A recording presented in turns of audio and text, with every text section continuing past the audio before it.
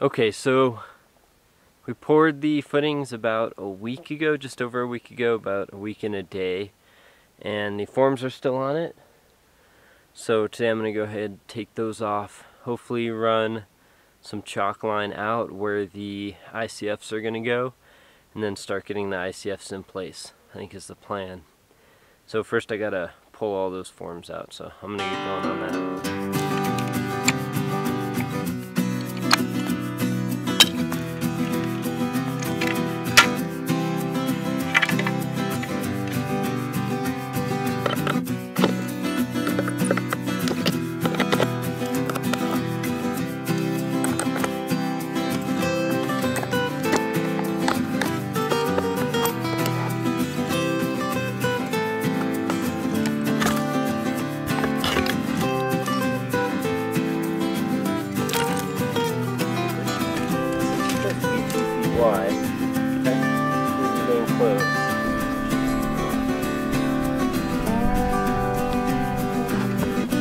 And chalky. Do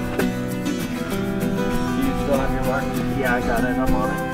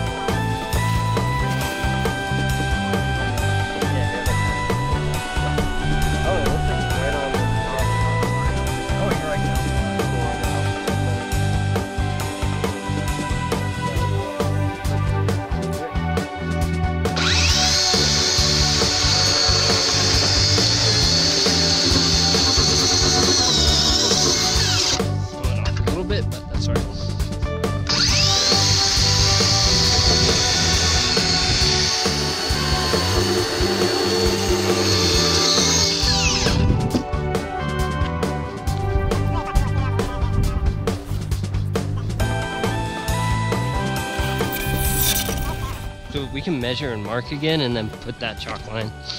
And we should be straight.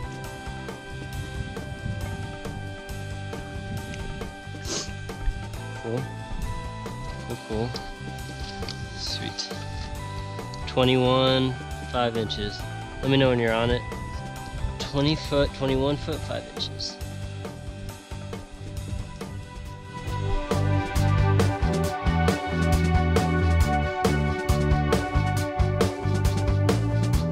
I'm on it.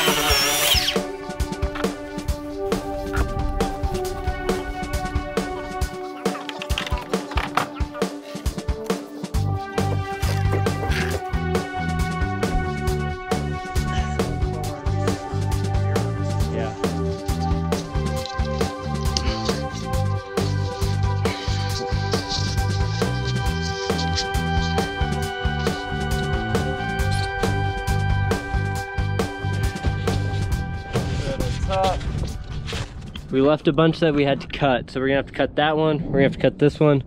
I gotta cut that one real quick and then we're gonna have to cut that one. So I'm gonna cut this one and then do this entire last side. And I'll mark it.